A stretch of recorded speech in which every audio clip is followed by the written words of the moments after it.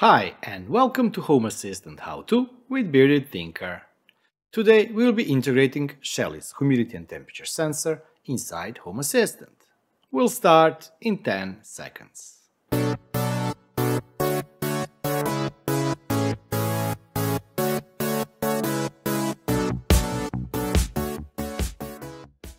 As always, before we go any further, I really would like to thank all the members who have joined the channel. Thank you very much, your support really means a lot. And also, thanks to everybody who liked my videos, subscribed to videos or watched my videos. Thank you! And now, let's get back to video. Today we will be installing humidity and temperature sensor inside Home Assistant. This small battery-powered device by Shelly provides you with data about the temperature and humidity.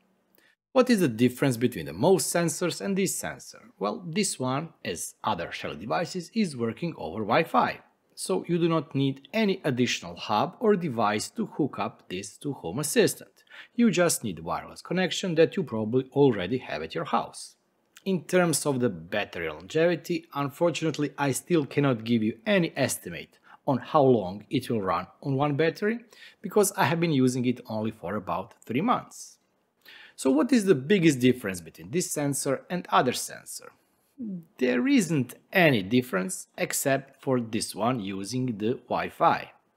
In terms of sensors or entities that you will get from this sensor, it depends on how you integrate inside Home Assistant and as always you have at least three options. One is MQTT, that is the preferred choice for me, at least for the battery power devices.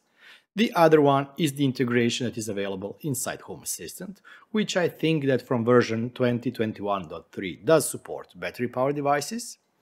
And the third option is of course to use the Shelly for HASS or a custom component that you can get from HACS. In this video I will show you how to integrate them using the MQTT and we will be using a special script that needs to be added to Home Assistant so we can enable MQTT auto discovery inside Home Assistant for Shelly devices. So what entities will you get from this sensor if you add it via the MQTT? You will get of course humidity and temperature because this is humidity and temperature sensor. You will get the IP address of your device, which is great if you want to access device via the web interface. Just don't forget that you will need to boot device or wake device from the sleep. The other sensor that you will receive also is a battery, because of course this is a battery powered device and you need to track the status of the battery. And as I mentioned, unfortunately, my battery is still at 100%. Not unfortunately, but I cannot give you any estimate on the lifespan of the battery. And the last sensor you can get from this device is of course the firmware status, meaning on if there is a newer version of firmware or off if there is a no new version of firmware available. In order for you to add this device, you have to find it on the Wi-Fi network. If device is sleeping, you have to press button once again to wake it up and you should see Shelly HT access point. Connect to it After it is connected, open the web browser and type in 192.168.33.1 which is default IP address when Shelly device is working in access point mode. In sensor settings, you can turn external power here. Temperature units can be of course changed from the metric to Fahrenheit. Temperature threshold is used to wake the device up if the temperature changes by some threshold. The minimum value for the change is 1 and the same thing exists for the humidity threshold where you can also wake up device if the humidity changes by a certain number. Temperature offset and humidity offset allows you to tweak or improve accuracy of your temperature and humidity sensor. Actions allow you to report the sensor values by using the HTTP URL with the GET parameters. Please note, as indicated here, that using more than two actions can have negative impact on the operation of the device. Sensor URL actions allow you to use specific URL calls if temperature changes or goes above or under some value and also if humidity goes below or above certain value. Settings are of course typical for Shelly devices.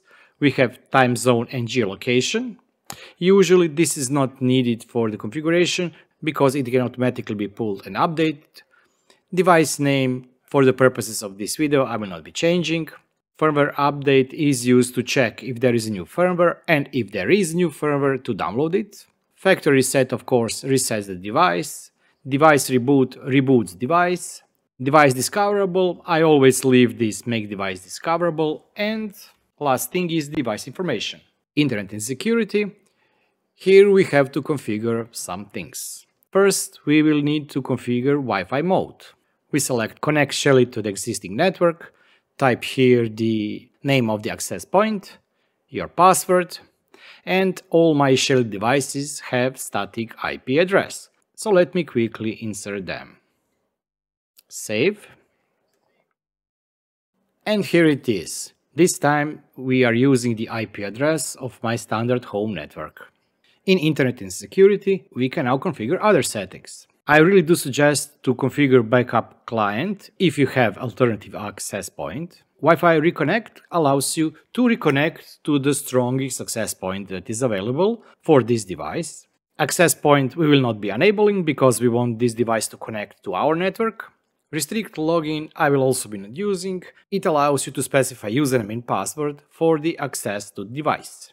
For the SNTP server, let's leave time.google.com and in advanced developer settings, first make sure that enable CoIoT is enabled, especially if you're planning to use internal Home Assistant Shelly integration. One of the precautions, especially if you have problem with the multicast, is to replace this with the IP address of your Home Assistant and port needs to be 5683. Save. Typing in the IP address and the port number, instead of multicast, we'll change it to unicast. When you change the CoIoT, make sure that you reboot your device. This is the simplest way of the integration and this is also how battery-powered devices work with the Home Assistant Shelly integration. Next thing for me is to enable MQTT, because I use MQTT. If you are using username and password, type here your username and password for the MQTT.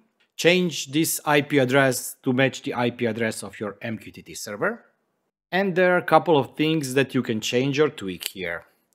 First is you can try and play with the retain. And next setting that you can try to play with is changing the max QoS. Default value is 0. If you're having issues with the sensor, try putting here 1. Don't forget to save. And this should be it. And now Shelly temperature and humidity sensor is configured. For the rest of the integration, let's go back to Home Assistant. If everything is okay, you will now see either discovered here for the new Shelly device, which you can just then configure, or in my case, since I already did have this device previously, I did remove it, but it didn't show up as a new device, it was just added to the list of other Shelly devices. Here I have Shelly humidity and temperature sensor, and these are the values that are pulled if using Home Assistant integration. So we have temperature and humidity. This part was easy. The next part for MQTT has a little bit more steps. First, make sure that you have Python script enabled in Home Assistant. How to do that? Let's go to Visual Studio Code. For start, we will search our configuration to see if we already have Python scripts enabled or not. Python. Looks like I don't have it. So, at the end of the file, we will add following. Python scripts singular, not plural. So this is needed to enable Python scripts inside Home Assistant. But that's not all. In the root folder, where our configuration files are, we need to create additional folder, and this one will be called Python scripts, plural. Scripts. Okay, so by adding Python script, we are enabling Python integration, Python script integration inside Home Assistant. And the default location where Home Assistant will be looking for those scripts is inside folder configuration folder and one folder down called Python scripts. Inside this folder, we now have to copy one file. And now let's go to GitHub repository from Maciej Bieniek, where we can find the Shellies Autodiscovery Python script. The link to this GitHub repository, as always, will be in the comment section below. Please take your time and read the documentation, it's not very long and it can help you in the future. But, long story short, this script adds MQTT discovery support for Shelly devices inside Home Assistant. And as it says, the prerequisite is to enable Python script in the configuration YAML file and also to create the Python scripts folder where the scripts themselves will be located. So what we need, in the Python scripts folder, we have one script that we need to download. You can either right-click, save link,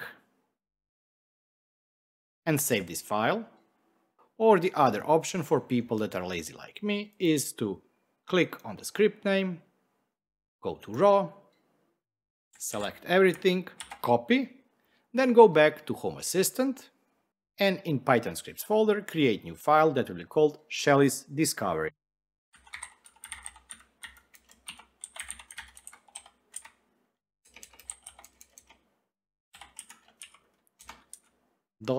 .py. We have new file, and here we will paste the contents of the file we copied. Save, just to make sure that everything is saved, and that should be it. At this point, we can restart Home Assistant, and by restarting Home Assistant, we will A. activate Python scripts, and B. Home Assistant will already know that there is a Shellies discovery script inside Python scripts folder. So let's go to Configuration, Server Control, check Configuration, and if everything's okay, press on Restart. I really do hope that you like this video so far. And if you did like this video, please give me a thumbs up. It really means a lot to me, but it also of course helps with YouTube algorithms that track how many people have seen and liked the video. Thank you very much. Okay, let's go to Developer Tools, Services, and if we type here Python, we should now see Python scripts reload and one Python script that we just copied from the GitHub called Shellies Discovery. But this is not all. In order for us to automate everything, we need to create two automations. One will be called Shelly Announce and the other one will be called Shellies Discovery. So let's do that. Go to Configuration, Automations, Add Automation, start with empty one, Shellies announce. Trigger will be Home Assistant start and additional trigger will be time pattern. One hour. Uh, please note, if you change this value, and for example you have Shelly motion, this can significantly impact the battery life, so try to leave it as is. And for the action, it will be call service, mqtt, publish, and I will paste this here from the GitHub.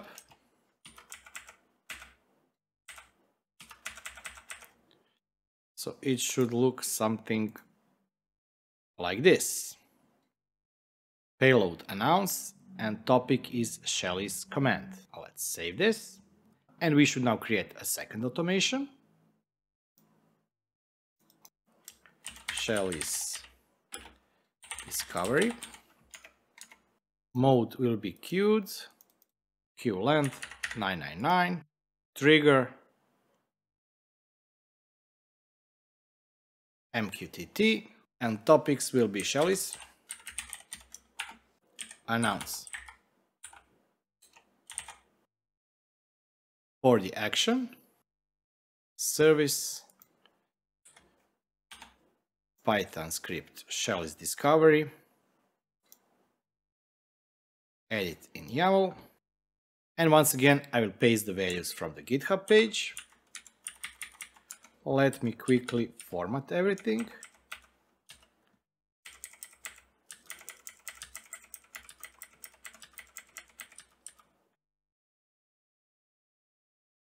And this should be it. Let me quickly check it.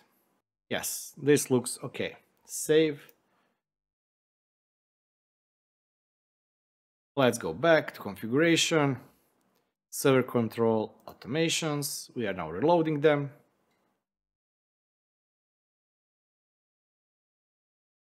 And Shellies. We now have announce and discovery. Announce will be run every hour. Discovery will be run every time there is a MQTT announce topic. Let's go to configuration, integrations, MQTT, where is MQTT? 56 devices and let me type H and T. So we now have here Shelly humidity and temperature sensor. Battery status is the firmware update available or not, humidity, IP address of the sensor and the temperature. We can add this to Lovelace. Let's add this to climate, add to Lovelace UI, overview. And we now have data inside Home Assistant from our Shelly humidity and temperature sensor. And this is pretty much it. Of course, you are now free to do various other automations with your humidity and temperature sensor. For example, a couple of weeks ago, I showed you how to create a weather template, so you can use various sensors to create a weather card. And humidity and temperature sensor can be one of them. Then, of course, you can also use it to trigger automations. For example, if the temperature falls below a certain threshold, you can turn your heating, or if the humidity goes above certain level, you can turn your uh, air conditioner on so it dries your air. This now all depends on where you put and how you use your humidity and temperature sensor. And this is it for this Home Assistant how-to with Bearded Tinker. I really do hope that you enjoyed this video and if you did enjoy this video, please give me a thumbs up. If you have any kind of a comment or a question in regard to this video or any previous video I did, you can always find me on the Discord server and the link to Discord server is in the description of the video but feel free to leave comment down in the comment section below. If you still haven't subscribed, please subscribe and hit the bell button so you get notified of future updates, and I'll see you next time. Until then, bye bye and have fun.